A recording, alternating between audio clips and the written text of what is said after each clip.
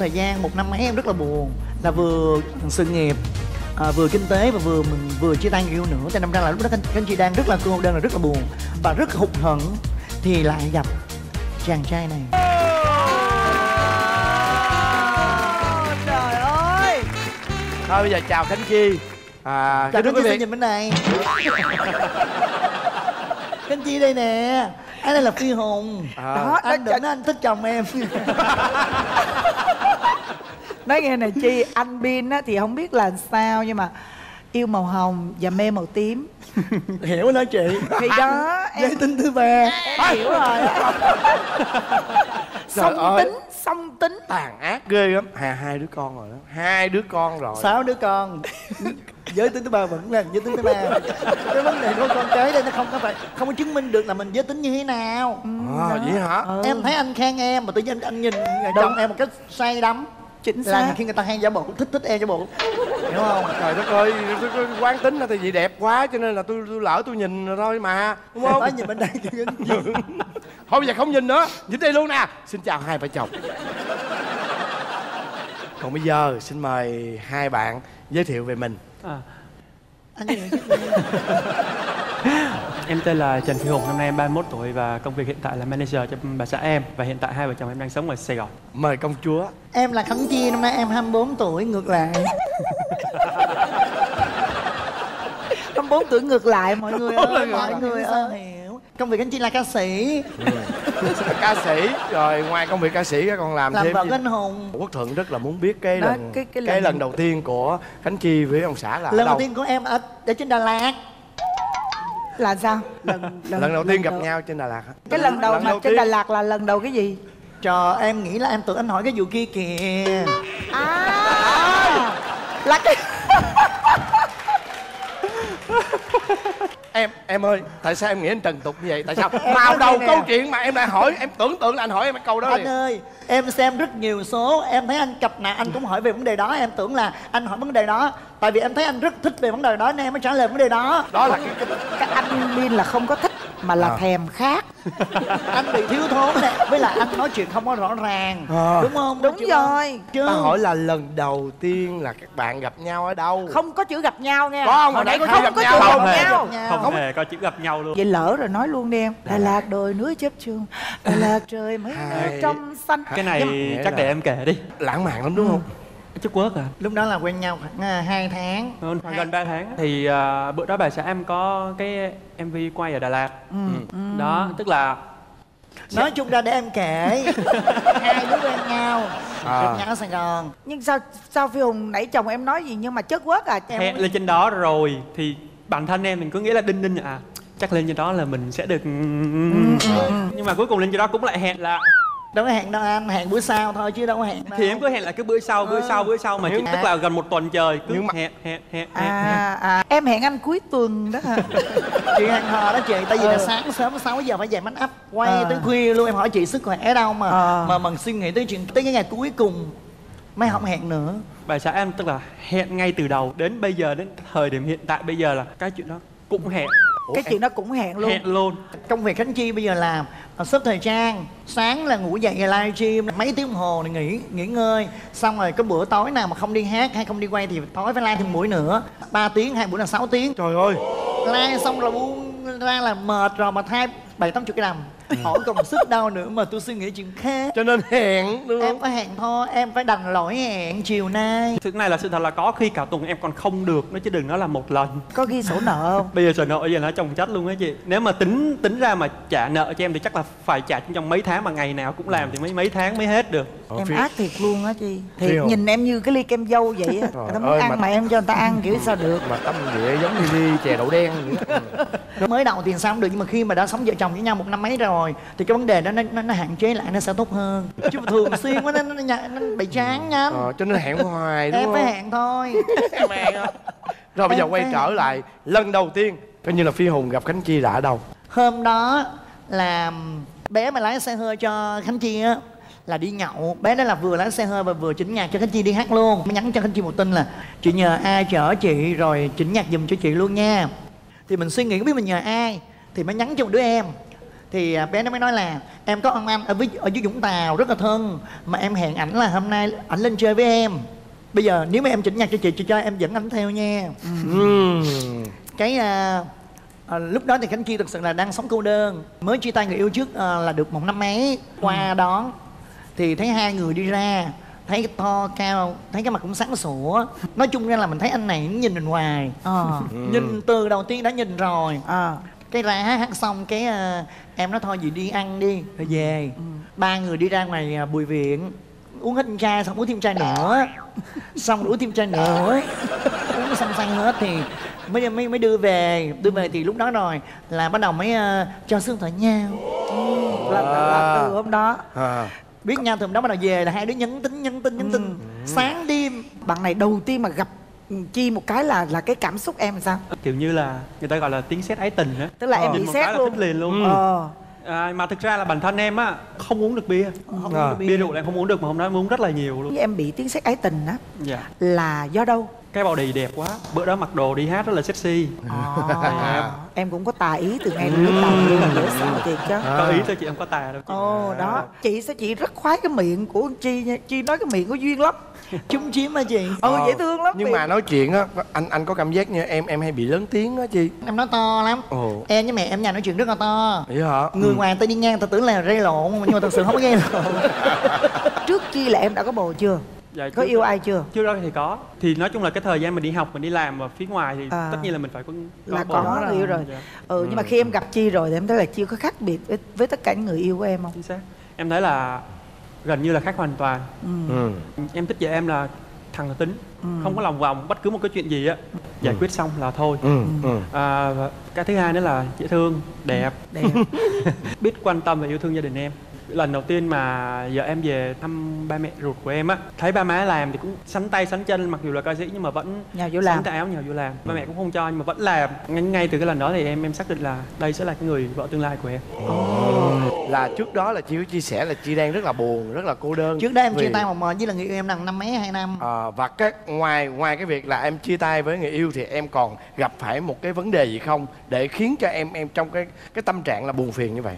Sau khi live show à, nếu em được chọn lựa của em khi bắt đầu em làm gái về hai năm sau em tổ chức cái live show đó thì em mới bị thất bại cái live show đó em lỗ gần 2 tỷ. Sau khi thất bại cái live show đó thì em với là người yêu em mới chia tay. Trong thời gian một năm mấy em rất là buồn là vừa sự nghiệp à, vừa kinh tế và vừa mình vừa chia tay người yêu nữa. Cho nên ra là lúc đó các, anh chị đang rất là cô đơn là rất là buồn và rất hụt hẫng thì lại gặp chàng trai này. Nhưng mà cái điều gì mà làm cho em em cảm thấy là em yêu cái chàng trai này? Đầu tiên quen nhau tìm hiểu cái tiền đó. Là dạ em nói thiệt với anh luôn tất cả mọi người nhìn vô nghĩ, nghĩ là em rất là giàu. Nhưng ngay cái thời điểm này thật sự là điểm em khó khăn nhất. Bảy tám tỷ bạc là hết chưa không còn tiền mà phải mắc nợ mấy trăm triệu. Ba bốn trăm mà trong vòng 4 năm nó lên một tỷ mấy em đóng lời á. Tại vì khi mà tiếp xúc được một tuần lễ 10 ngày mình thấy cái người này ok tính tình được hợp với mình nên em nói thẳng. Tại vì em mắc nợ nhưng mà em ra đường em vẫn vẫn đẹp vẫn sang trọng không ai biết em mắc nợ và không ai nghĩ em nghèo. Cho dù em có nói người ta cũng tin một tháng bây giờ đóng lời bảy mươi mấy triệu tiền lời. Trời em khủng hoảng em nói thật sự. Rồi, rồi lúc đó ảnh sao? Thì ông ấy nói là thì nếu vậy mắc nợ thì hai vợ chồng mình cố gắng làm kiếm tiền trả nợ chứ đâu có gì đâu em. Ông nói thôi bây giờ để ờ, một một hai tuần nữa đi rồi ông sẽ tìm cách ông nói chuyện với mẹ để mượn cho em đỡ đỡ ha- hai ba trăm để em trả nợ. Em nói trời anh nghĩ sao anh anh, anh nghĩ sao anh hỏi mẹ? Rồi mẹ đánh giá em nghĩ em chắc là lợi dụng này nọ nữa em không cho chị. Là em thương anh hùng là vì như vậy. Từ khi em lấy anh hùng là em phất lên luôn tới giờ. À, tại vì bây giờ em đã trải qua cái khó khăn rồi em mới dám chia sẻ. Hùng cái lúc mà lúc mà hùng ờ, nghe chi tâm sự như vậy á thì thì ờ, em em có nghĩ là cổ thử lòng em không? Hay là thực sự là em nghĩ cổ đang bị rơi vào hoàn cảnh đó thật cái uh, suy nghĩ cá của cá nhân em á, thì em lại nghĩ là bây giờ quá khứ ai cũng có quá khứ cả. Cái quan trọng là mình nhìn vào cái tương lai của mình. Mà tiền hay không có tiền thì từ từ mình sẽ tìm mình làm ra. Vì bản thân lúc đó em cũng thực sự lúc đó em em không giàu bằng ai em thì bình thường thôi. Thì em nghĩ là thôi thì hai đứa làm nắm tay nhau làm thì mình vẫn có thể đi lên được. Khi mà quen nhau một tháng bắt đầu khánh chi à, đưa ra một cái điều kiện. Ừ. rồi lúc đó không có tiền bạc nhưng mà sao điều kiện dễ sợ luôn không hiểu điều kiện sao. điều kiện sao? Chắc có thể là được được được nước rồi nè rồi làm chân rồi. đầu đó, ừ. được vô đồ hai bà trưng đó. À. em nghĩ là nếu như yêu nhau á, thì chắc chắn là anh phải cưới em phải kết hôn thì em mới chấp nhận còn không là bây giờ mình cắt đứt từ bây giờ. Cho một tháng suy nghĩ một tháng sau suy nghĩ trả lời anh đồng ý. Cho em hỏi câu nếu như ba mẹ anh dắt em về nhà ba mẹ anh không đồng ý thì anh sao? Nếu ba mẹ anh không đồng ý thì anh sẽ đi theo em là bao nhiêu Là- lâu? Sau là- hai tháng đó bao nhiêu lâu thì dắt về? Rồi khoảng à, hai ba tháng nữa là về. Rồi là sau đó là đám cưới luôn. Sau đó một năm sau mới cưới. Rồi sau khi cưới thì hai vợ chồng có những kỷ niệm nào vui không? Không. Có không? Không. À, để em kể cho nó hấp dẫn hơn. Hồi nãy giờ nó chưa nói được cái gì luôn kìa. Đi pháp tức á. là cái hôm đi pháp mình vô mình check in hải quan đó chị. À, hai cái passport với lại à, vé máy bay á thì À. là bà xã cầm. Xếp hàng xong rồi vô cái tới mọi người check in á, hải quan á. À. không biết bà xính xa xính xác sao á. Ông kêu em là mở hai bánh bao mở coi ra đi. coi tên cho chính xác là người tên trên vé máy bay và cái tên passport nó phải khớp với nhau thì mình mới qua được hải quan. Passport là passport bà xã Ờ. mà vé máy bay là vé máy bay của em. Ờ. check in hải quan nó không cho em qua. Ủa nhưng mà còn còn cái passport kia đâu? Nói chung này nè ông kể ông không không bởi ông nào không biết kể chuyện. Nè ghê bởi nha em xứng xa xứng sắc em móc hai bánh bao ra em đưa đại em không coi. Ờ. Thì em cầm bánh bao cái ổng ổng cầm bánh bao của em. Ờ em ra trước em sấn vô. Thì bên con nhỏ nó thấy nó nói cho xanh lộn bên này. Cái em em lấy em đổi lại. Em đổi lại là bánh bao của em. Thì người ta cho em qua. Tới khi ổng ra ổng đi qua ổng vẫn cầm bánh bao đúng nhưng mà hồi nãy nó nhỏ nó không biết làm sao nó giữ ổng lại. Ờ. Tức Sao đi là tức là làm khó em mà hải quan cần nửa tiếng đồng hồ. Ờ vậy đó hả? Với cái lý do là em không đưa đúng cái passport và cái vé máy bay. Mà em đưa À. lộn em đổi lại người ta cho em qua. Ờ. Mà ổng đi, không. đi đi sau là ổng đưa đúng cái bánh bao luôn người ta không cho ổng đi. Lạ luôn.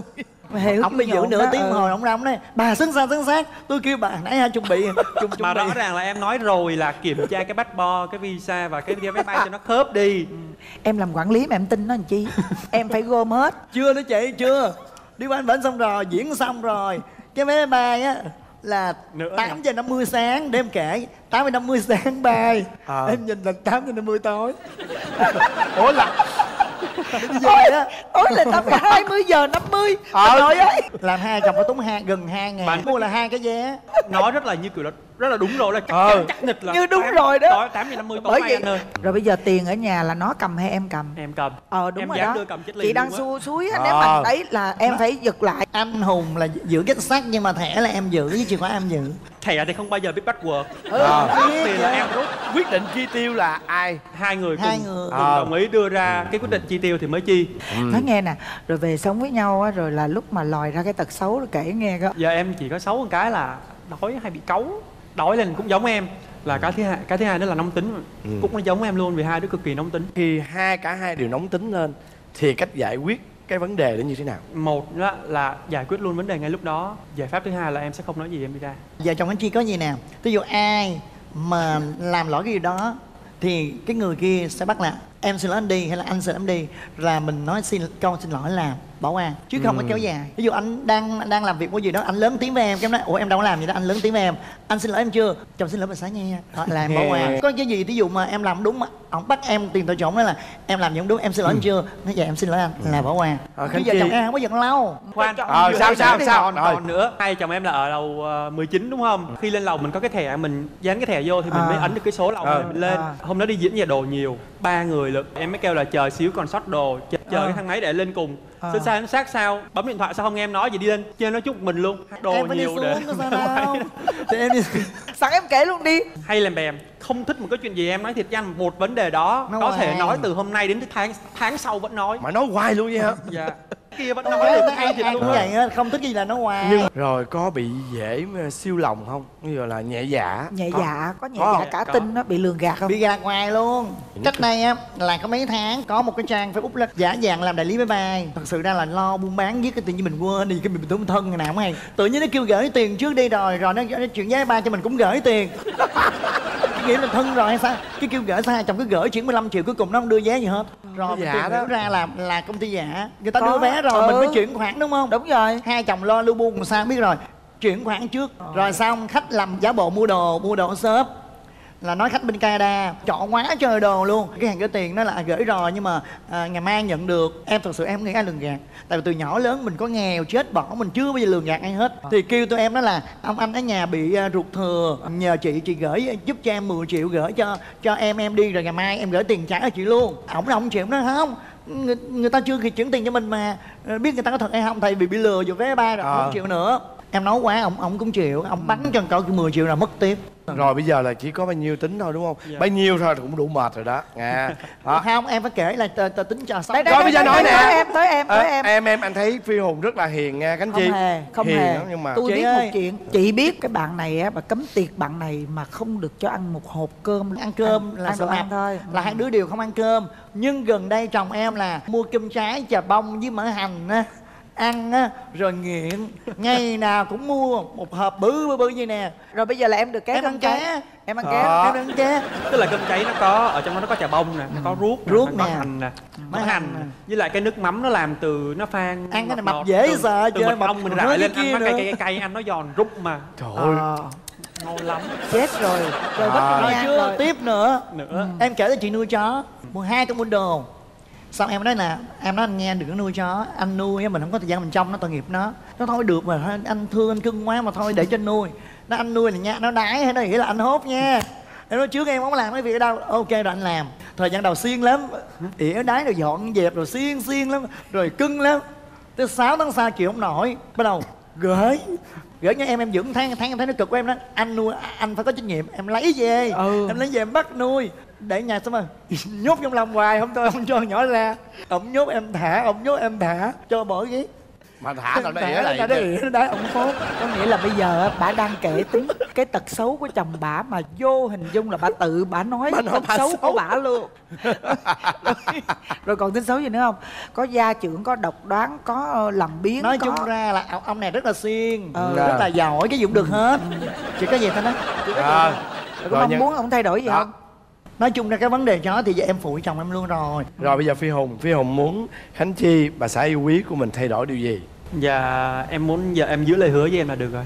À đừng có hẹn. Rồi. à chuyện hẹn hò đó. Bớt hẹn. Nói chung ra hai vợ chồng em á là không có gì đâu mà mà lấn cấn nhiều. Ừ. tụi em sống với nhau là cái là cái gì nó ừ, bên cạnh nhau nhiều lắm. Ừ. đâm ra là như vừa là chồng vừa là một người bạn đời. Ừ. đâm ra là rất là hiểu nhau. Đương nhiên vợ chồng nào cũng không có ai hoàn hảo hết nhưng mình cố gắng để mình sống với nhau nó vui vẻ hạnh phúc thôi. Ừ. chị chị đừng đánh trống lãng chị. Anh Sao? đang nói là anh mong muốn chị. Chứ À, đừng có hẹn bây giờ có chị Vân và anh Thuận nè em nói luôn. Em không thiếu anh nữa nhưng một tuần em chỉ là một lần thôi. Chốt hạ cái làm việc rất nhiều. Ờ. rồi còn có con nữa chăm con rồi. Chăm chó nữa trời ơi. Nhiều thứ lắm. Ờ. sao được không hùng hay là có mong muốn gì thêm. à, tạm chấp nhận được nhưng mà một tháng khuyến mãi cho em hai lần. Chị à nhiều khi đi đi du lịch cũng có tặng kèm chứ bộ. Kệ người ta xin cho đi tuần Đó. lần rưỡi. Rồi em hứa Rồi. nha chúc tụi em cứ dính nhau như vậy thôi mãi nha. cứ dính như sam như vậy nha rồi Cảm ơn tụi mừng